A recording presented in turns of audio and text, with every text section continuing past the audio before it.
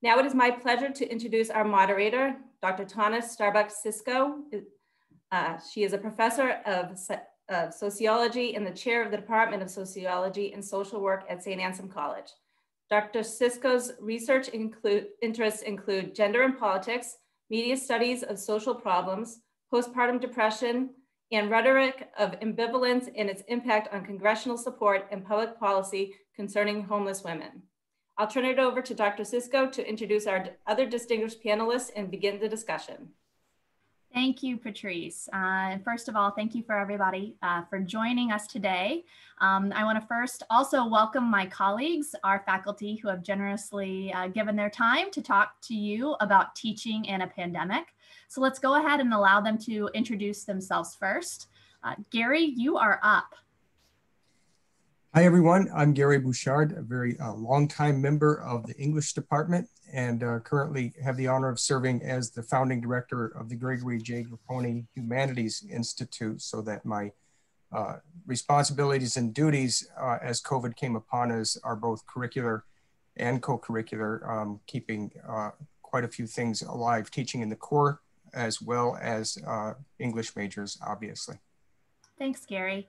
All right, next up, Kathleen Cahill of nursing. Hi, I'm Katie Davidson Cahill, a class of 1980, and I've been teaching here on the Hilltop in the nursing department for the last 16 years. Um, I teach pediatric nursing. Wonderful, thanks, Katie.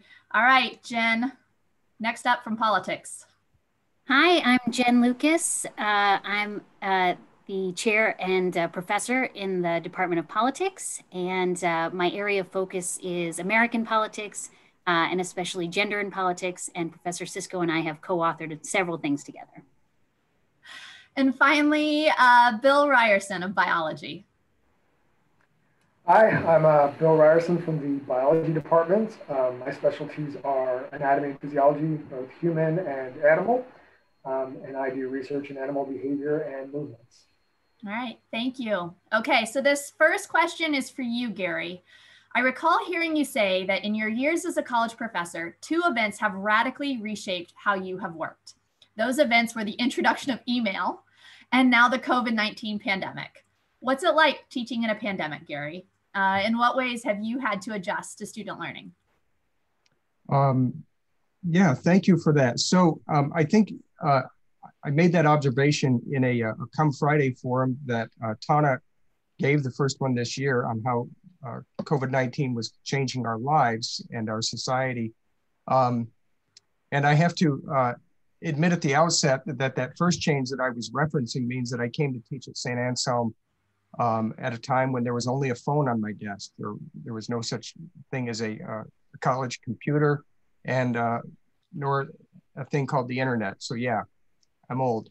Um, I think w- within a few years after that, that meant, of course, um, back in that day, you, when you went home at night, you went home at night, and you might have graded or studied or written or done your thing, but you weren't interacting with students after hours. That, that just wasn't a thing. And email uh, quickly changed that. Um, with so that within a few years, um, with with the internet um, and and email, and then um, uh, the learning platforms, we were engaging with our students. And once, once that turned into smartphones, uh, you never really went home again. and um, because uh, students, we, we, I think we all have gotten a rhythm with college students where they contacted us when they're doing their work starting at 10 o'clock at night.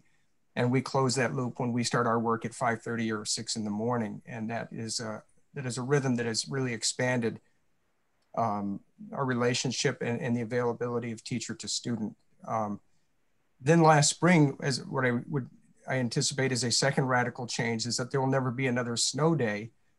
Um, there'll be never another reason for not having a meeting or having a class. And um, we've uh, those of us who, who teach have, have now been inside of our students' dorm rooms, their kitchens, uh, their bedrooms, uh, and theirs they've been in our homes through this strange video medium. Um, so I've now done um, uh, at least once or twice uh, a long advising session as well as worked with a student paper while they were uh, in the passenger seat of their car driving with their family. uh, I just think those uh, those two events have removed the boundaries for better or for worse um, in in how we structure our time or do not structure our time because as it turns out we're always available whether we're wearing dress pants or sweatpants thank you all right, Katie. Uh, we know that the pandemic has hit especially close uh, to home uh, with many of our frontline workers who are students of college and nursing grads. Um, we know that hospital restrictions have also impacted current nursing major training and how you, in essence, uh, teach. Um, as a nursing faculty member, what are some innovative techniques that you've created to adjust specifically to the clinical hospital restrictions? And how do you think it's gone? Okay, so last semester, obviously with no clinical because of the pandemic and we closed the school, um, we really had to look for some online simulation kind of activities for our students because they were not able to have any of that hands-on. So the, we found a number of different types of virtual simulations that were available online and then we would have the students watch the simulations and then we would zoom with them to talk about okay so where was this patient? What did we need to do? Um, and i think because our students are so engaged in the lectures and everything we found that recorded lectures were not they were not really fans of. They really liked the zoom lectures so that we could interact with them. Um, now for this semester since we are still in some of the hospitals doing clinical, which is fabulous. Um, but unfortunately, we're not in the schools. So, especially for pediatric well uh, visits, we can't do those anymore. So, we've used, um, we found an avatar um, called Shadow Health that um, we go through five different pediatric clients. And the students are able to literally, it's kind of like a Zoom where they can um, ask questions of the patient. Um, and that has really been very successful this semester. Oh, good. Uh, thanks for telling us about that. An avatar, nursing avatar. That's neat. All right, Jen. Uh, at the college, we as educators uh, extensively incorporate experiential learning in our curriculum and our coursework, uh, as we know that it provides an experience that allows our students to engage with community members.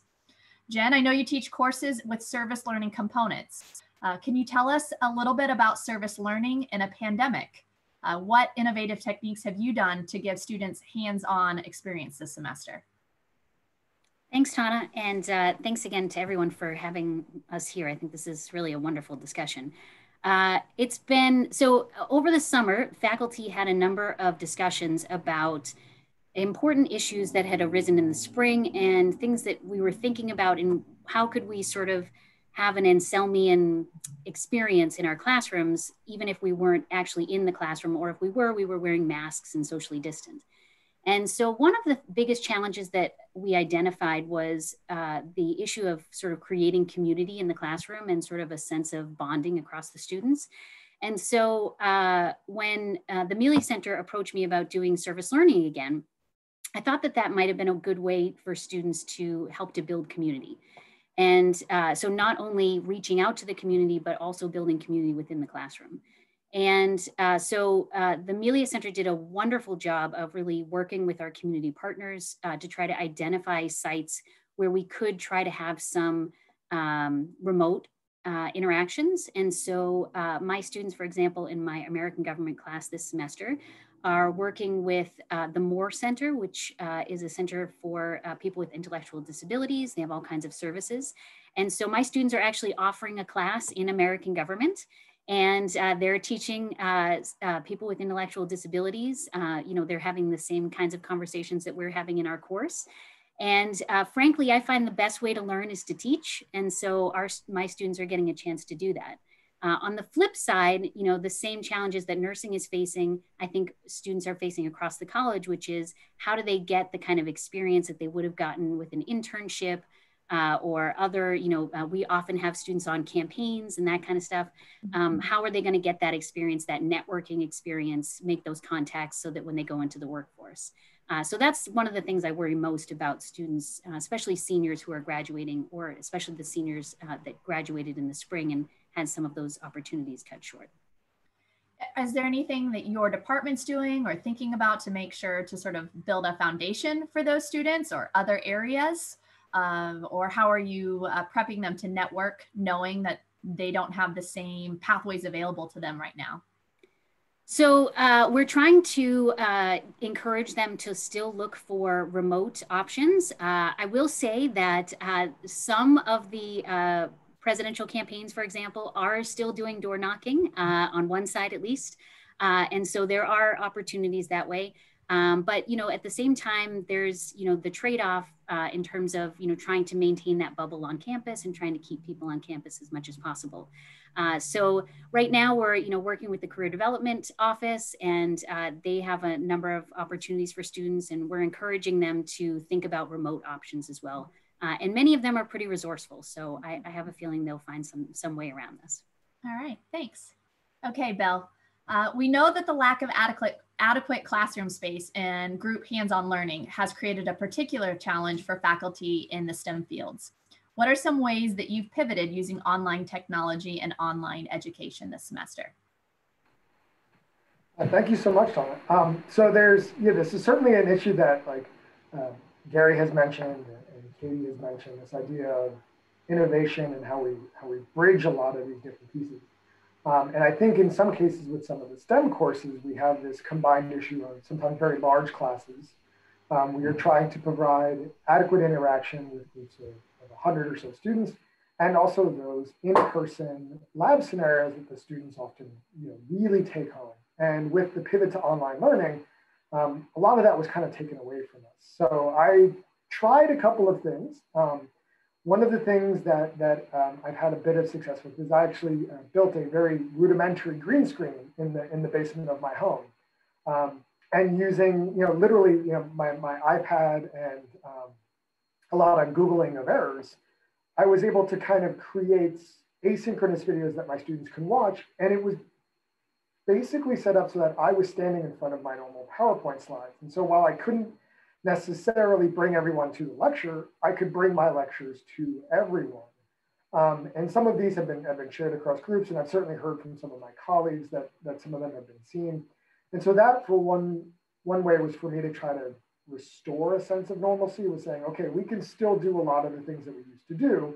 We just have to be creative about how we do it. Um, the lab is obviously a much different animal because one of the, especially in the anatomy and physiology courses, you know, things like dissection are really a key central component to how we run those classes. And a virtual dissection is very hard to do. And, and a lot of us would argue it's not really the same. And so we kind of embraced um, technologies where when we can get the students into the classroom, we're certainly focusing on that. Um, and for example, I'm holding my laptop for a reason.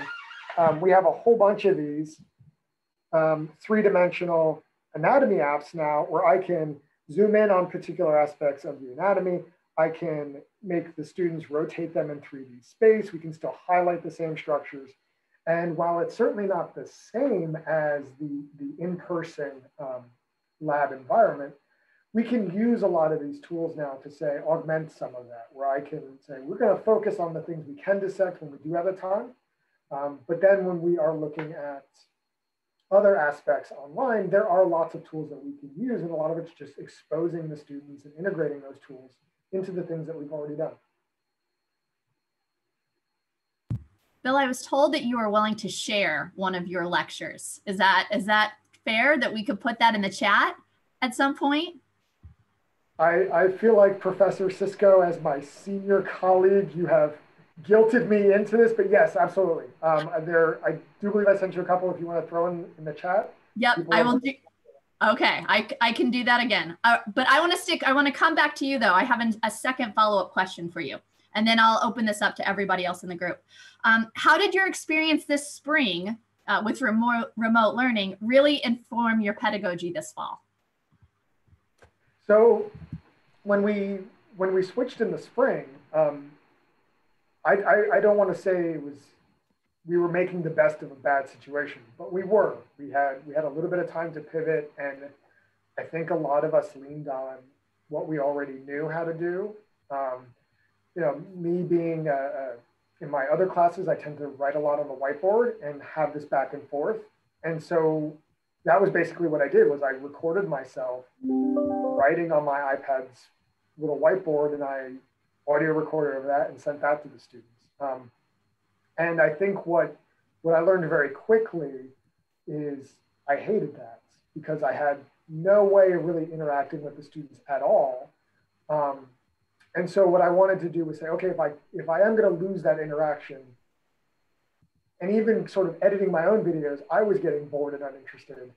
How can I make this more engaging for the students? And then at least we have the summer to to prep some of that to sort of say, okay, I'm not a fan of just recording myself talking over the PowerPoint slides. How can I make this more engaging in a way that will help the students stay interested and, and engaged throughout the whole throughout the whole semester as opposed to a, a four or five week kind of crash course. All right. Uh, anybody else?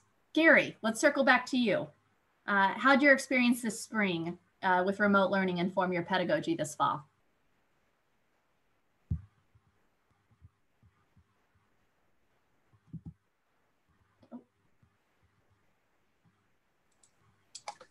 What I was doing in the spring was so very different than what uh, I'm doing in the fall. So they're pretty different experiences. Uh, when COVID came upon us last March, um, I was teaching a large, uh, mostly lecture class of Renaissance literature, 27 students. Um, and I had incorporated into my pedagogy over the last couple of years, a, a, always a PowerPoint visual component to each lecture. So I kept doing what I was doing, only doing it the way we're doing this webinar.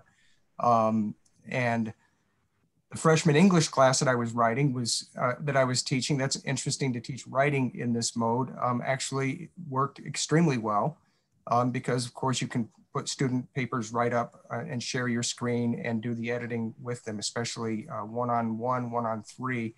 Um, that that worked well. Both classes, in fact, worked well. Uh, for whatever reasons, the upperclassmen literature class, um, the majority of them preferred to keep themselves uh, off video. And um, I think so the, the humanities uh, based courses, as anybody uh, would tell you, depend so much on classroom community. Uh, the content that we're doing is really important, but as important is um, that we're there doing the basics of humanities, which is paying attention to a, an important text and paying attention to one another. That's the essence of what humanistic education is. Um, so the fall, um, as it turns out, I had two sections of Conversatio, which is our freshman humanities uh, program. And um, while I knew I would have to count on Zoom in, in some respects, um, I pivoted back to the fifth century before the Common Era uh, and, and doing essentially what Socrates and the others did. Um, I've moved outdoors uh, bought camp chairs for my students and we have met on, on the quad. Uh, we've only had to Zoom twice. Uh, the weather has been amazing. Uh, some days hot, some days gray. Um, I think we've reached 46 degrees this week and the students said that's as low as they're willing to go. Um, so um, that's a very different pedagogy and a very ancient pedagogy, uh, more or less six feet apart in mask um, gathered in a circle, uh, a bonding experience with freshmen like I've never had. I, I suspect, and, and, and, these are experiences that they've never had. I think in, in, there will come a day when we will all look back um, and, and marvel that we did this, but uh, they've been brave and, um, as I say, very, very old fashioned pedagogy, um, but somehow through mask, uh, we've managed to make it work. Thanks. Katie, how about you? Uh, well, last semester we were just doing Zoom, um, but now this semester in the I'm actually teaching in the classroom. I have a large lecture hall that seats 100 that I have 23 students in this semester. Um, and we still do the Zoom, like tonight we're doing an exam review um, over Zoom because it's so difficult in the classroom to um, get their feedback because it's very hard to hear because I've got a mask on, they've got a mask on. We were in this large lecture hall. So we still like to use the Zoom so that I can actually see them. Um, and it's much more interactive. Um, but it's been challenging, but at least we're back in clinical. so that we do get that hands-on, which, um, you know, we're trying to play catch up actually from last semester because those students didn't get, you know, possibly they didn't do their maternity rotation. Mm-hmm. So they've never really taken a, you know, a blood pressure or a heart rate or respiratory rate on a baby. So now in pediatrics, at least they get to do that. So. All right, Jen, how about you? Yeah, I agree with what everyone said. I, I would just say one of the things I thought was interesting uh, in the spring is uh, so I also do a lot of uh, interaction in my classes. And uh, one thing I learned from uh, uh, the spring was that using Canvas, it was actually when you sort of require that everyone responds online, that you actually get those students that don't always feel comfortable in the classroom jumping in. and so you get really thoughtful answers, uh, you know, in some of these online discussion boards. And so I think that sometimes um, trying new ways to sort of incorporate new ideas also sometimes hits on ways that some students learn that they excel at that you don't always do in your regular classes.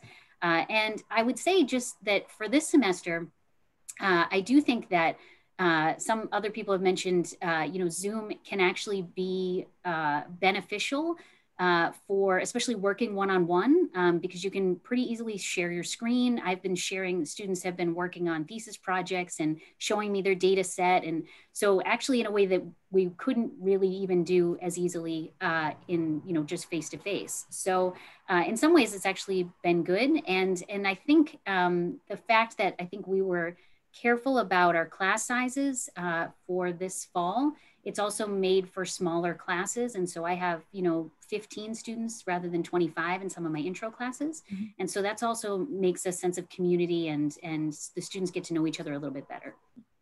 Well, Jen, you sort, you've led me into sort of the next question. What has been a positive surprise or innovation that you've had from teaching in a pandemic? Um, but also inversely, is there anything that you tried and said, nope, never doing this again well uh, uh, so that i would say that's to me that was the surprise It was sort of the um, uh, i think you know remembering that you know some students like to participate but they don't like to speak in class right mm-hmm. um, but i also uh, in terms of the nope I, I I think several of my colleagues would agree with me that I have learned how to give a micro lecture, and that a micro lecture has to be actually micro, which for a normal faculty member is really tough. Uh, so, uh, you know, sort of um, uh, getting it down to the essentials and really, um, you know, be, having something that's uh, enough that a student is not going to tune out. Uh, and finding there are lots of technological tools that you can use that students can, you know, uh, give a comment or something like that. And so they can still sort of interact with the material and you can sort of check in with them. So I found those to be quite helpful. Uh, but yeah, trying to limit yourself from getting down from you know a, a 30 minute lecture down to five or seven minute lecture is really quite difficult. All right, Bill, how about you? Uh, what's been a, su a, positive surprise and innovation this semester, and what's been a nope, never doing that again? Um, the the positive surprise slash innovation was um, a lot of the different ways that we have the ability to engage the students in the material.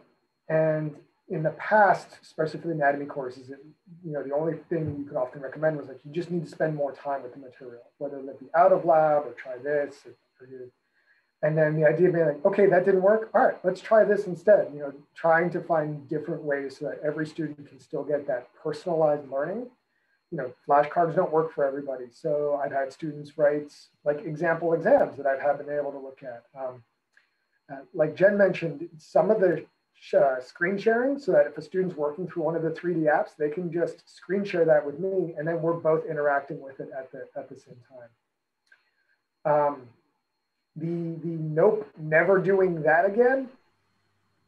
Oh, there's so, so many. Um, definitely the micro lecture the idea of you know trying to take these huge lectures and and, and bring them down um, because you know you can you can feel them them losing it after you know after 10 minutes um, usually. And then the other thing that I've that I've tried and I think I'm I'm personally guilty of it is I started to worry about students falling behind because we weren't getting that in-person time. And so I started assigning more low cost like quizzes and assignments. And I, I think if I was doing that and all of their other faculty were doing that, I don't know when the students are going to have all that time. And so there was definitely a lot of like, maybe I am, you know, trying too hard to assign too many things. And maybe I need to back off on that a little bit and give them a little bit, you know, some more breathers in between sections of the material. Katie, how about you? I think that um, one of the positives is that we found so much material that we could substitute for a potential clinical. But then on the other hand, I think that, oh no, is how much are we going to give them? And I think initially we somehow even overwhelmed them with like too many patients and too many things. So I think it was that balance that, you know, we've kind of found out this semester that, okay, they don't need to have, you know, uh, six different patients in one week kind of thing. Any, uh, all right, let's go on to Gary. What about you? Positive surprises from teaching in a uh, pandemic or anything that you tried and nope, you're never doing that again?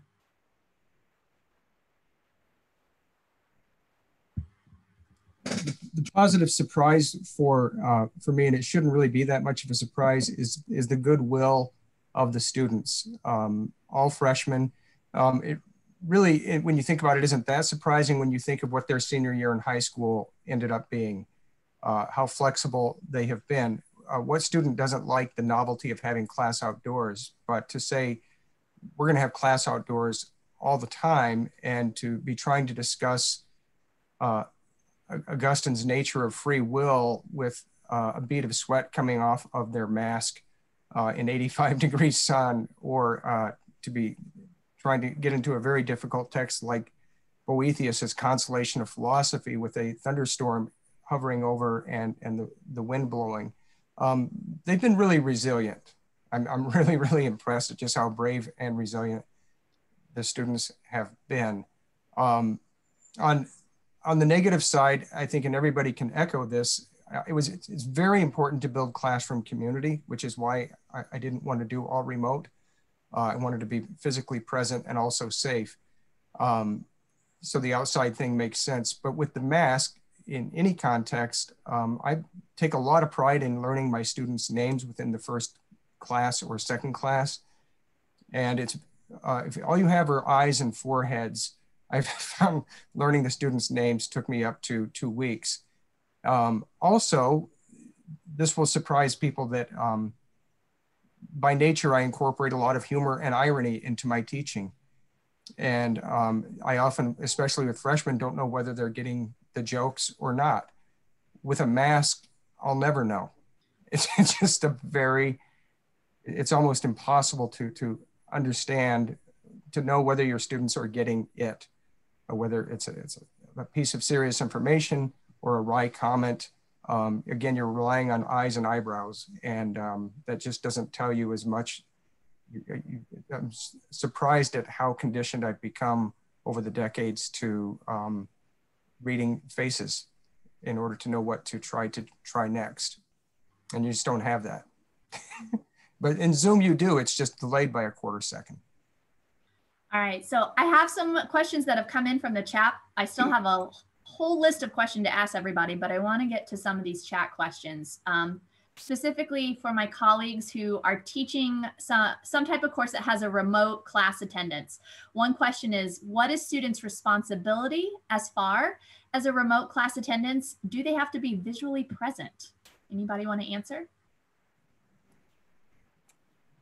Uh, I'll answer. So I am teaching remotely, and uh, I um, it was definitely the case that over the course of the semester, students would be more likely to give me the dark screen.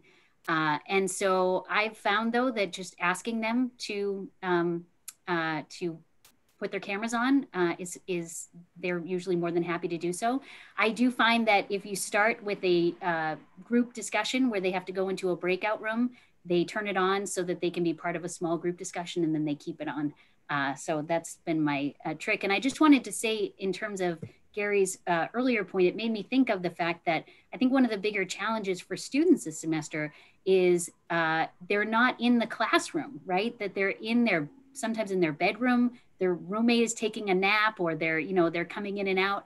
And so um, I think managing all of that in a space that is not conducive to learning sometimes, I, am sure is uh, contributing to their uh, overall sense of stress and not being able to focus uh, as they would if they were sitting in the classroom with other people who are doing the same thing. Mm. Uh, Bill or Katie?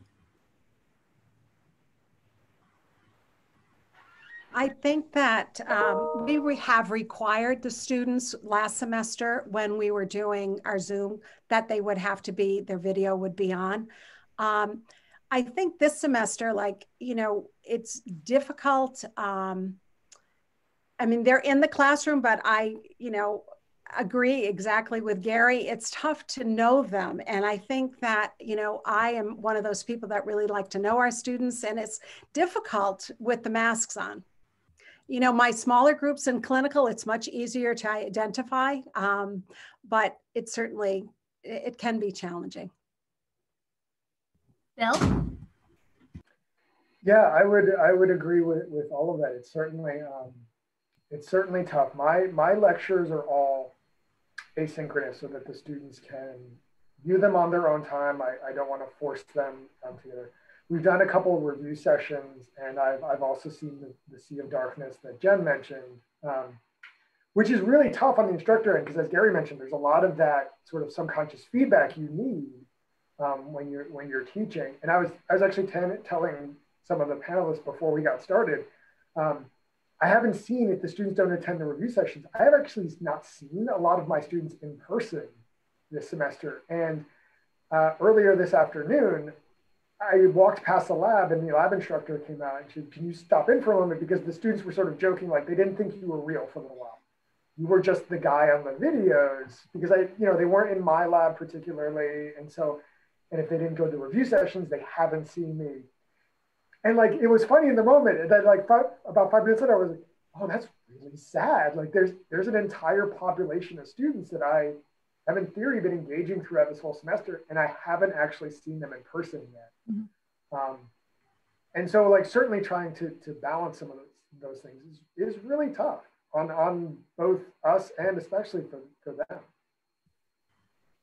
We have another question that comes in from another educator, a high school English teacher wants to know, what digital tools did you use to simulate the normal learning experience? Did you use Jamboards or Padlets or HyperDocs, Yo Teach, oh my gosh, Nearpod, something else? Some of these I've never heard of, so you're way ahead of us, uh, Teresa Blackman. She also says, hi, Gary. Hi, Teresa. Whatever Yo Teach is, I'm in. Anyone like to answer?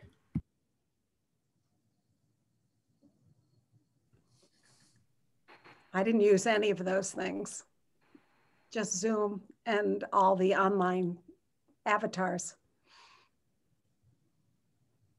I did use, um, I used Jamboard for one of my courses in the spring for a group project.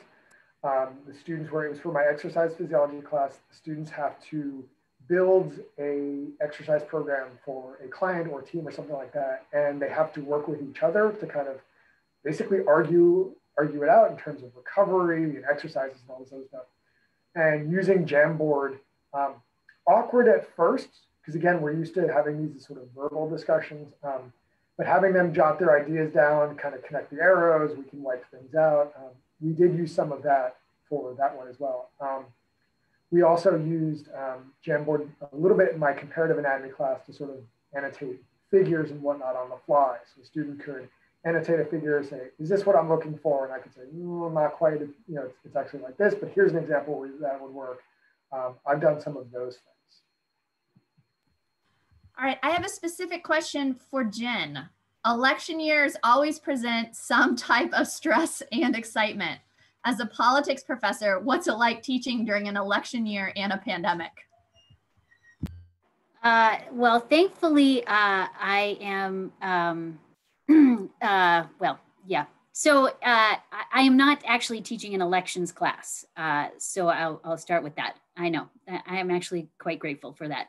Uh, I I, am probably like many of you are a little bit burned out from the election uh, already, and it hasn't even happened yet. Um, although some of you may have already voted, so maybe it's over for you. Uh, but um, yeah, so it's, I think uh, in some ways is, especially for our politics students and those that are interested in it, uh, I think it, in some ways it adds uh, a little bit of uh, additional stress. in some ways it offers some opportunities. So um, the ambassador program, for example, has done some interactive kinds of things where people are posting videos and to try to encourage people to register to vote and to um, express their, uh, you know, citizenship and that kind of thing. Uh, so in some ways, it's it, has been, I think, maybe a, a tool to help uh, bring the community together and, and find innovative ways to do that. But uh, I think at this point, uh, I think we're all a little bit burned out uh, from both the semester and the election. so um, I think in that way, it can cause a little bit of additional stress. And like I said, I think it's also um, and for some students, uh, you know, they come here and they come to New Hampshire because they want to be in a, the home for politics and they want to experience the primary. Uh, so luckily, the, the silver lining is we our students got to experience the primary in the spring. Um, pre-pandemic, we had our debates here and uh, all of that. But the students that would normally sort of be out, you know, knocking on a lot of doors, uh, there aren't quite as many of those uh, this semester. All right, uh, Gary, every Friday you host the Humanities Institute's Come Friday seminar, and those are now webinars too. What's it like engaging and teaching former students virtually?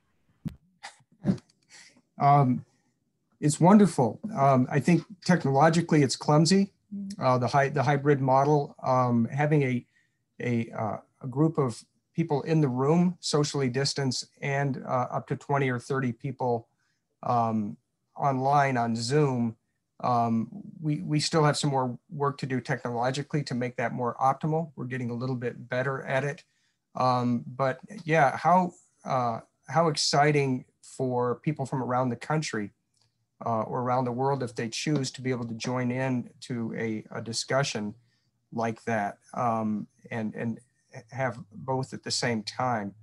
Um, that part has been um, that's been exciting. I suspect the um, the only hesitation I have there is it's now permanent. Uh, long after the pandemic, I suspect uh, having this capacity to reach an audience well beyond the room on campus um, for uh, some for any number of things is is going to be with us. Uh, that we're going to continue to use that technology and have to improve on that technology and never be cloistered again to just a group of people in a room. Um, in uh, in in the spring, I did a um, uh, under the umbrella of the institute. I did a version of my online Robert Frost course, uh, which is uh, about 25 micro lectures, and uh, it was all for alums. And the alumni office, I just want to say, has been amazing during the pandemic at extending the reach of the campus with things like this. Um, but yeah, we had I had students, uh, alumni from the 60s and the 70s out in California, people in the Midwest, people locally.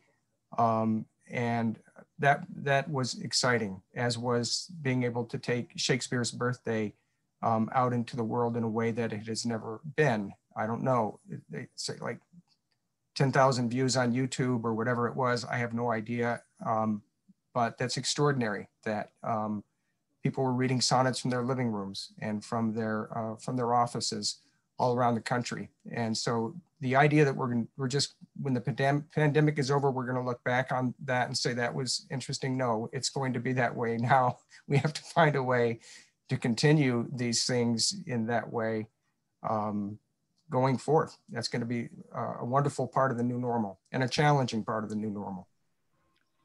Katie, what are some unique ne uh, needs that you've seen as a nursing educator that you've had to face teaching nursing majors during a health pandemic? Well, most one of the things that has really come out is that a lot of our students do work um, you know for hospitals and certainly last semester when we had um, when we initially shut down a lot of the big boston hospitals wanted our students to come and help them with the covid initiative you know all the issues with um, that in the spring. So their experience that they got then, um, and certainly lots of them still work now, you know, through the summer and into the fall. And it's been a really great um, resource for them. Good. All right. So, Bill, uh, we know if anything with this pandemic, it's really put a focus on the importance of science and science education to inform policy decisions. What new teaching techniques or curriculum have you included this semester to emphasize this to students? Yeah, there's been a, a lot of that, um, and I and I, I'm sure you know Katie has as well with a, with a lot of this. Um, one of the big things that that I've done with, especially with my human anatomy and physiology courses, is you know said, okay, we we talk about the structures and we talk about their function. Part of your online assignment is let's grab, you know, and actually my students are doing it. Hopefully, they're doing it right now. Um, we're doing respiration, and so the assignment is okay. You're going to create a little PowerPoint slideshow um, submitted through VoiceThread, one of these other softwares you're going to tell me about three different respiratory illnesses. And I, I, of course, being the sort of person I am, I drew out the obvious one. I said, let's talk about pneumonia, you know, let's talk about cystic fibrosis, and uh, let's see, okay, fine, let's do COVID. And then have the students work through that and say, let's apply those things we talked about. The other thing that we've been doing is, um, in some of the smaller group sessions, is talking about basically interpreting the news and saying, okay, you've got, you know, now that you have some information and you see uh, a, a, claim by, by someone or a news headline that says something, like how do we take what we know or what we've learned and filter that through, uh, through our own lenses? And um, mixed success on that because it's, you know, there are certainly people who won't listen to reason no matter what the science says. But the idea of being able to filter a lot of that information as the students build through their through their education. So we can talk about, you know, we've certainly had discussions in these little groups about the effectiveness of masks and some of the big claims about masks, about you know certain you know, trapping carbon dioxide being one. And then we've been able to have a discussion. Okay, well let's compare the size of a respiratory droplet, a virus, a bacteria, your food, and then carbon dioxide. And say like, all right, based on this information, what do you think is likely to happen? Um, and so it's, it's not necessarily that I'm forcing this curriculum upon them. I'm saying, well, we've got this information, this is certainly topical. Let's bring this forward. Let, let's tie what we're doing, the basic stuff that we're doing, um, which in the past I would just said, you know, if you're going to be nursing students, here, you know, you're going to go into health assessment and maternity. And let's let's bring that part in. Now let's say let's do it in a real topical situation and filter some of those headlines out. You know, it's easy to get some outlandish headline that we can sort of spend 20, 25 minutes digging through. And I think it's really helped the students apply what they're getting in my classroom to some of the stuff that they're seeing out there. Good.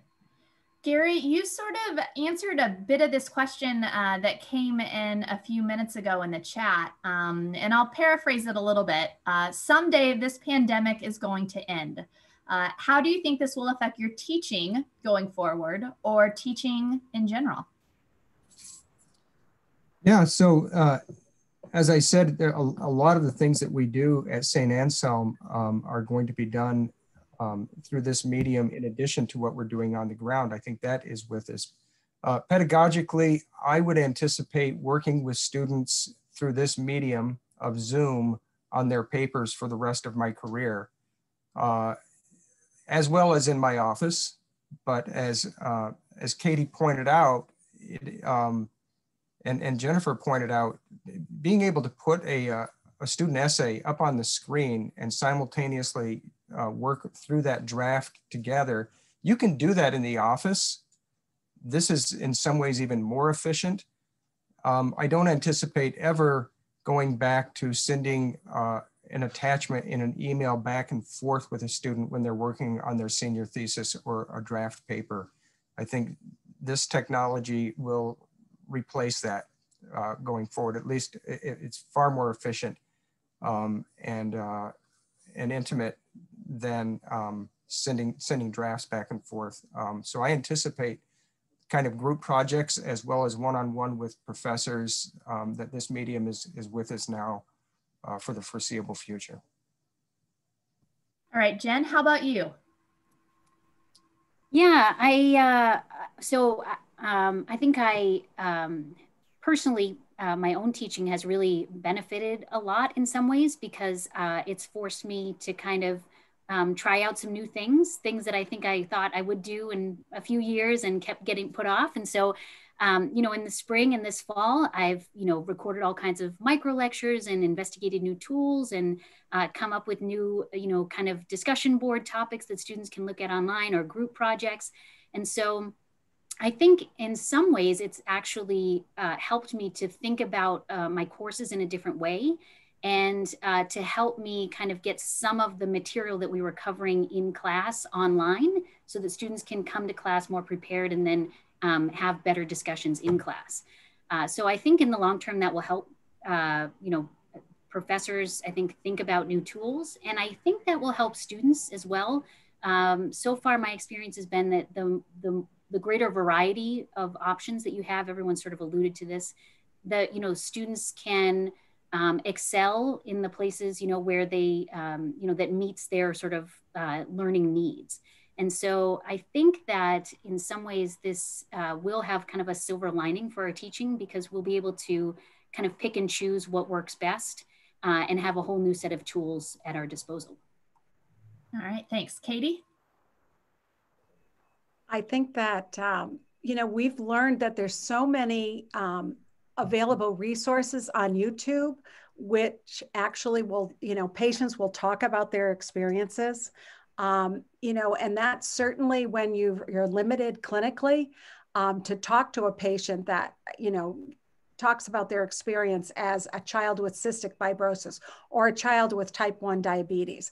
There's so much information out there. Of course, you know, it's my job to kind of sort through and make sure it's the right information, but at least they have a flavor of what it's like for uh, a patient with these kinds of illnesses that maybe we won't see in, in the clinical area. So I think it's really enhanced the teaching. And I, you know, at this point, you know, I'm good at mini lectures. Um, I realized that, you know, a two hour lecture that I was doing, you just can't do that on Zoom. It's just not possible. All right, thanks. Bill, how about you? Yeah, I think uh, I would echo what everyone else said. And I, I think one of the things that struck me is what Gary said um, at the beginning of this, which was, I don't think snow days are going to be a thing. Um, I think there are, there'll be an opportunity where, you know, especially if you're a faculty member who commutes from far away or something like that, where you're like, listen, the weather's not good. You know, even if the college doesn't cancel classes, we can all we can all meet and do a 25 30 minute review session on zoom or here's this online activity we can do in place of what we were going to do. Um, i similarly have been digging through a lot of these uh, options and have found a, a, ton of surgeries that are available. A lot of uh, doctors offices and, and hospitals are making their surgical videos available for review. And that's been a huge boon for my class where i can say okay it's a snow day. We were talking about the brain you know, here's a surgery of a subdural hematoma, you know, take a look at that. We'll talk about this later. Um, so I think we, you know, we'll, we'll incorporate a lot of these new options. We will, um, and also as Gary mentioned earlier on, like the the boundaries between like when we are available and aren't available are going to kind of further erode, so that if it's a okay, you know what, you need to, you know, we're running out of advising time I'll find two hours on Saturday. Just here's here's the link. Here's where we'll go, um, and then you can you can grab me there. Um, and so I think we'll start to see a lot of those things kind of come out. Um, I'm already prepping for the spring. Like if we have a snow day, like okay, here's the activities that I'm going to pull because it's not really a snow day anymore.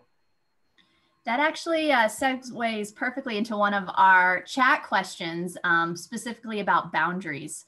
Uh, and the question is Have you all had a hard time trying to create or keep boundaries between the classroom and home life now that you can teach and learn from anywhere? And I say this if many of you didn't hear my toddler jump into the conversation a few minutes ago and me tell him to appropriately leave. So please. Can I just say uh, we've had I've had quite a few pre-registration hours uh, these last couple weeks, and I've my toddlers' heads will often pop right into the screen. Uh, so um, I, I, it does make me a little concerned Gary's comment that uh, I'm I'm supposed to be on uh, on call at all times. Uh, because toddlers really wear you out, and so I sleep a lot more than my students do. Anyone else about boundaries? uh, creating and maintaining them? I think definitely in the spring, um, it seemed like I was working 24 hour days, seven days a week, because I was always looking at emails for the students.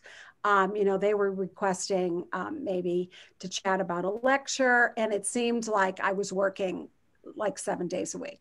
So it's a little different now. So, um, but I see that, you know, that can easily happen again when um, when the pandemic first hit, I think in the first week and a half, I, uh, after the initial shock and sadness of having to leave campus, I thought, well, this is going to be, you know, it's going to be at least less work. And um, as with Katie, I, I don't think I've ever worked so hard as I did um, in in March, April, and May on on every front to to make this work. Um, but very fortunate to to be an empty nester, and uh, I, I will just say in, in speaking with students, they, they love to see your kids. They love to see your dogs. Um, this, this is actually enriches the experience for them. But am I grateful to be able to teach a class and then go have uh, lunch and coffee with my wife in the kitchen and come back to work? Yeah, pretty. If, if you don't have a toddler, it's, it's fine. but though I, I will say one one additional thing. Uh, uh, in all seriousness, of my students at the beginning of the semester, uh, and this was a suggestion from IT, was to have them introduce themselves. And usually you do that in class, and they sort of sit there and they say, "This is me, and, and I have a dog" or something. And this time they could have pictures of their, you know, so they had to. My students had to build a little tower, and they of the things that were important to them that they they were all freshmen. They just brought with them to school and so they talked about, you know, these are my friends from home, and these are, this is, you know, reminds me of my grandmother who's such and such. And so it was a little more personal. And, and so I think in some ways students got to see a little more of the, their students, uh, their fellow students uh, early on. Good. Bill? I, uh, I actually, to, to prevent some of that, um, I let my students know that that basically I, I would make myself available at certain off hours and I would set up a, um, it wasn't through Zoom, it was through yet another one of these to uh, Google Meet. Um, and basically I would have virtual office hours from like say seven to eight on, on a Thursday evening or something like that. And I, I did that to, I think preemptively get ahead of some of these issues where I, I didn't want to, have a lot of people saying, sort of demanding, you know, I can offer the Saturday morning thing if it's available, but I don't want people asking for it. And so I, I sort of preemptively did it by saying, hey, listen, I know everything's weird right now. And I know you're just used to swinging by my office. Um, here are some additional times that might be around the work schedule or around your other class schedules that, you know, I'll sit there and be working on something. It makes a little alert when someone joins the room um, and then we can sort of chat that way. And that was something I did. Um, I also, um, much like Jen mentioned, I introduced my cat right off the bat because he seems to ignore me until I'm talking to the screen. Um, and so I did some of those things to sort of preemptively be like, hey, listen, you know, I, I'm not going to be available all the time. Here are some extra hours where I will be available.